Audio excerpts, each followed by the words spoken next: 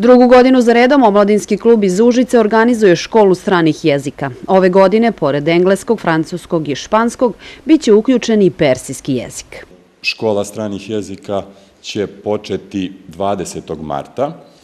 E, trajaće također tri meseca. E, polaznika Eh, po svakoj eh, polaznika po svakom jeziku bit će 60, kao i prošle godine, po 30 u svakoj grupi. Eh, prijave će biti do samog početka škole, znači do 20. marta, u narednih 7-8 dana.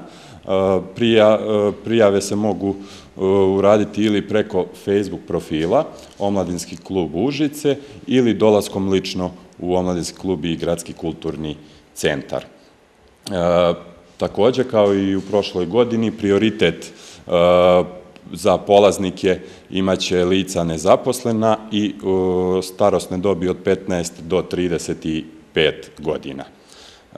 Također, polaznicima će biti obezbeđene sav potreban materijal za pohađanje škole. Grad Užice će, kao i prošle godine, podržati ovu aktivnost omladinskog kluba. Mi ćemo e, kroz zakon o volonterizmu angažovati ljude koji će ovde e, držati upravo radionice, odnosno koji će biti predavači, u saradnji naravno sa e, nacionalnom službom za zapošljavanje.